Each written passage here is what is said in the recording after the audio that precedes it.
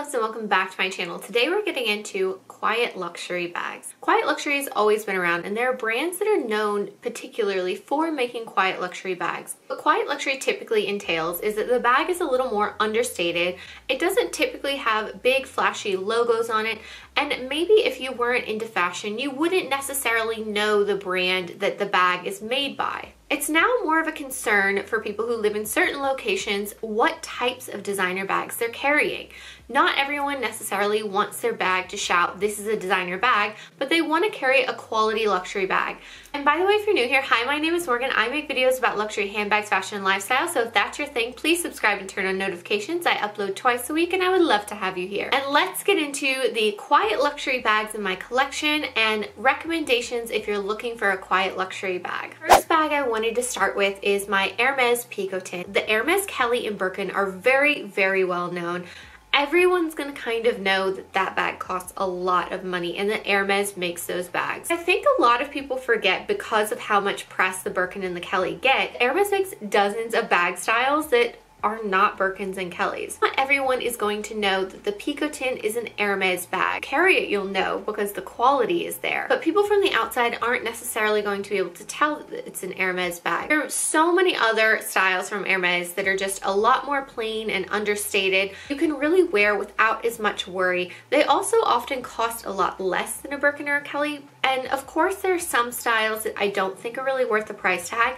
but a few that I really like that I would consider quiet luxury are the Garden Party, especially in the smaller size. I'm personally looking at a release bag as well, Roulis, Release, I'm not really sure how you say it. You guys know I'm terrible with Hermes names, so just please excuse my pronunciation. And there's also a bag called the Verrou bag. I'm probably saying that wrong as well, but all of these bags have a beautiful timeless design that you can wear for many, many years, but don't attract the same attention as a Birkin or a Kelly. You're getting the Hermes quality without shouting, look at my Hermes bag, and that's what makes all of these styles very quiet luxury. The second bag I wanted to share was my Celine Nano. Now I also have the bigger size in the gray, and maybe that that color would be a little more quiet luxury.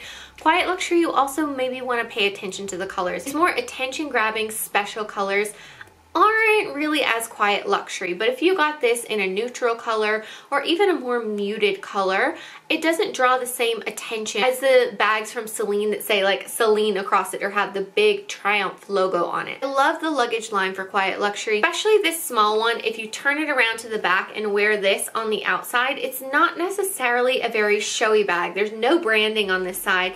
And on this one, you only have the very small Celine logo here. So it's not a very shouty bag. Celine is a great brand to look for quiet luxury. You can honestly just take your pick. They make fabulous bags that are very timeless. I would say for Celine, just avoid the logo print and avoid anything that says Celine on the bag, like in big bold letters. Other than that, they're a great brand to shop for quiet luxury options. Next bag on my list is my Balenciaga City. This is one that, yes, is very well known in the fashion world, but I like to think of quiet luxury that like if I asked my aunt or a friend who's not into fashion who makes this bag, they probably couldn't tell me. Beautiful hardware on it that really polishes the bag, but it doesn't draw attention in a very flashy way, the same way a logo would. This is still quality and very well made, and if you have a casual style, I think a Balenciaga City is a great bag. This style of the City is not in production anymore, so you have to go pre-loved for it,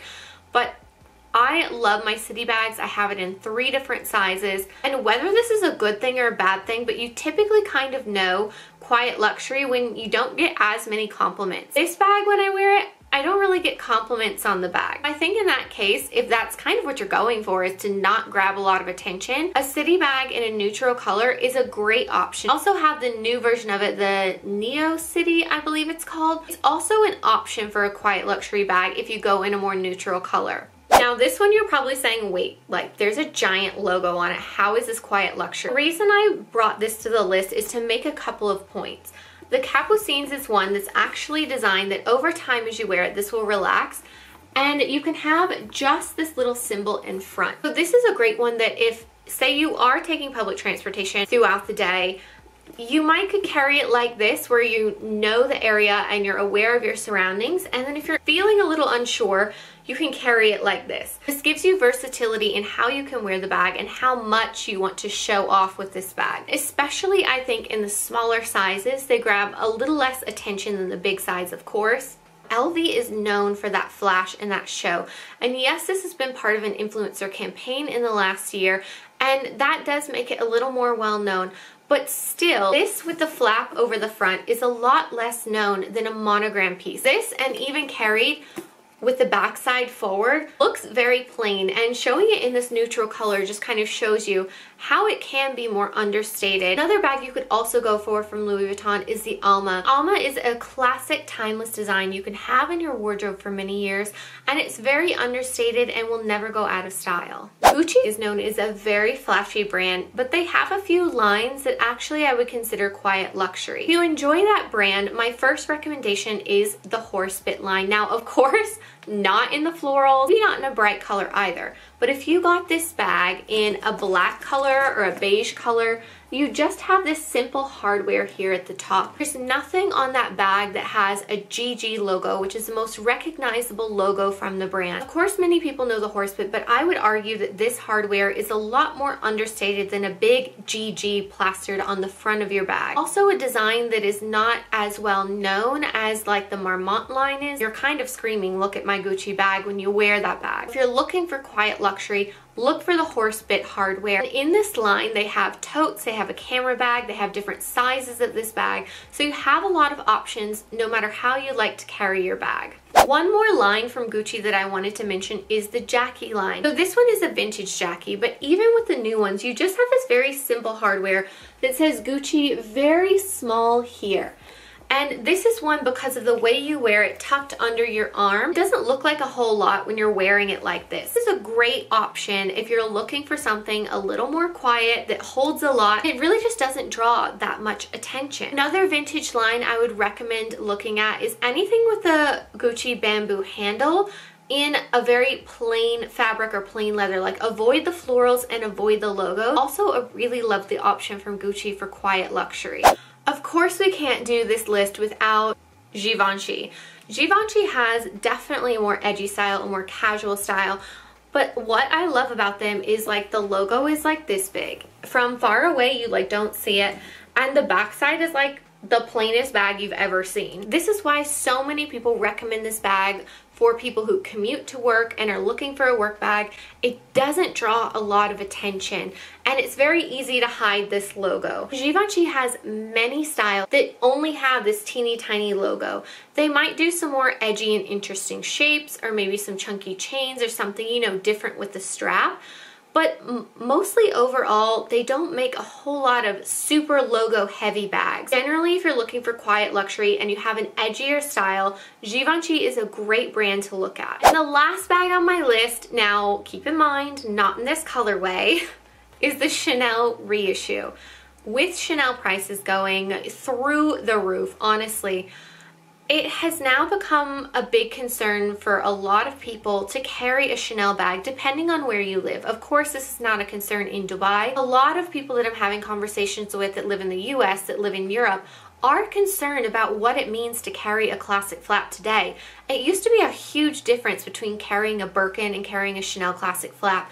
And now they equally make you a target for theft because the perceived value, even if you bought your bag like I did several years ago, and the price was much lower, the new value for that bag is so high and the pre-love prices are so high. Thieves know they can resell that bag for a lot of money. And if you want to enjoy Chanel a little more worry-free, a reissue is a great style. The reason why I say this is quiet luxury is the clasp. Almost looks like, you know when those brands try to make a copy of a Chanel bag and they do the quilting and then they do some very plain hardware? It could look like that to other people if you have this in a more neutral or muted colorway. And quite honestly, with how it is today, I don't care if people think it's fake. Like, that keeps me safer on the street. If you're looking for that quiet luxury option from Chanel and you just love the brand and you want to enjoy it, but you're just too worried to carry a classic flap everywhere, I would say look into the reissue. But I really do recommend this bag as a quiet luxury option from Chanel. Thank you guys so much for watching. I hope you enjoyed this video. If you did, please give it a like and let me know your thoughts on quiet luxury. I know people are quite divided on this. Some people love it. Some people want people to know that they're carrying a designer bag and there's nothing wrong with either. So I want to hear your opinions on it down in the comments below. And don't forget to follow me on Instagram and TikTok to see how I style my bags. And I'll see you guys next time. Bye!